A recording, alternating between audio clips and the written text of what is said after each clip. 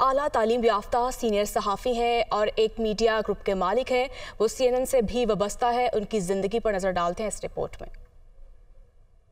निगरान वज़ीर अला पंजाब मोहसिन रजा नकवी लाहौर में पैदा हुए। मोहसिन रजा नकवी ने इब्तदाई तालीम क्रिस्टन मॉडल स्कूल से हासिल की। वो गवर्नमेंट कॉलेज लाहौर में भी जेर तालीम रहे और फिर आला तालीम के लिए अमरीका चले गए। रियासत मयामी में क्याम के दौरान मोहसिन रजा नकवी अमरीका के बड़े मीडिया इदारे सी एन एन ऐसी वाबस्ता हो गए। आला तालीम मुकम्मल करके पाकिस्तान वापसी आरोप भी मोहसिन नकवी ने सी एन एन की नुमाइंदगी जारी रखी और बतौर रीजनल हेड जिम्मेदारियाँ निभाते रहे। परवेज मुशरफ के दौर में अफ़गानिस्तान में वॉर ऑन टेरर के दौरान दौरान अपनी जानदार रिपोर्टिंग से मोहसिन नकवी ने आलमी सतह पर खूब नाम कमाया। मोहसिन रजा नकवी ने 30 साल की उम्र में 2009 में लोकल मीडिया चैनल सिटी 42 की बुनियाद रखी। मोहसिन नकवी की क्यादत में कायम मीडिया हाउस अब छह न्यूज़ चैनल और एक अखबार चला रहा है। पर्दे के पीछे रहकर काम करने वाले मोहसिन नकवी सियासी हलकों में भी मकबूल हैं। मुल्क की तमाम सरकर्दा सियासी शख्सियात से इनके मज़बूत ताल्लुक कायम हैं। मोहसिन रजा नकवी ने अपनी ज़िंदगी में हमेशा मुश्किल रास्तों का इंतखाब किया और मुश्किल टास्क को आसानी में बदल कर कामयाबी के जीने तय किए